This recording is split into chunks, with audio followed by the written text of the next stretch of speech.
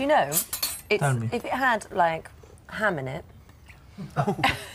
it's oh, it's closer. Oh, no. It's closer to a British carbonara. Oh no. It is. No, that's true. Oh well, fine. So I'm glad you're standing there. Do you there. agree? Yeah, yeah, yeah. But you know what I mean. If my grandmother had wheels, she would have been a bike. you know what? You know. It's, you know what? Else, you know, it doesn't make any sense what you said. It's a different recipe. It's got nothing to do with uh, macaroni cheese. You know what?